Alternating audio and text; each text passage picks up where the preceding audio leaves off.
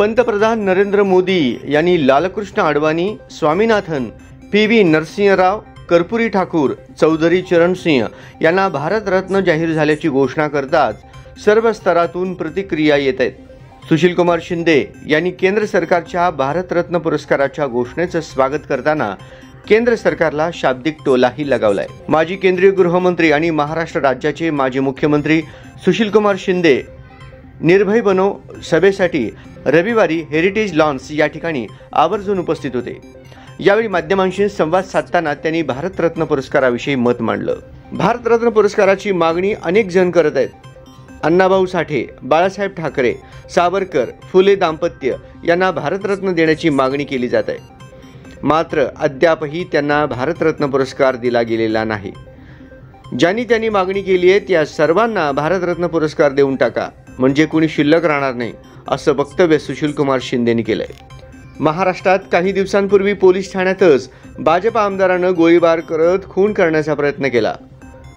अशा घटना घडल्यानं राज्यात परिस्थिती बिघडत चालली आहे.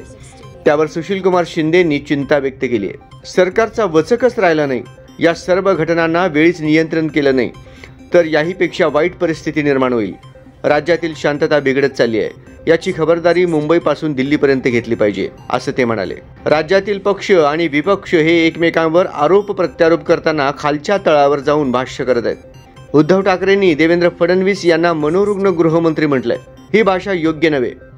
गल्लीबोळात चेंडू खेळताना जी भाषा वापरली जाते त्या प्रकारची भाषा विरोधी पक्षातील नेते आणि सत्ताधारी पक्षातील मंत्री वापरत आहेत असं सांगत सुशीलकुमार शिंदेनी चिंता व्यक्त केली आहे. स्वामीनाथन यांना पण दिलं चांगला आहे. त्यांना स्वामीनाथन पी व्ही नरसिंहराव त्याच्यानंतर चौधरी चरण सिंग यांना एका लाईनमध्ये सगळ्यांना दिलं. हे चांगलंच आहे. त्यांना अगोदरच दिलेलं आहे. पण ह्या सगळ्यांना एका लाईनमध्ये जे घेतलं आहे त्याचा विचार करण्यासारखी गोष्ट आहे. स्वागत का? सरकारच्या किंवा निर्णयाचं स्वागत करताय बाळासाहेब ठाकरेंना पण भारत देण्याची ते मागणी मागतायत सगळे देत नाहीत. बाळासाहेब ठाकरे आहेत. अजून कोण कोण आहेत? सावरकर आहे सावरकर आहेत. अण्णाभाऊ साठे आहेत. हं? नाही तरी एकदा सगळ्यांना हे देऊन टाका म्हणजे कोण शिल्लक राहणार नाही.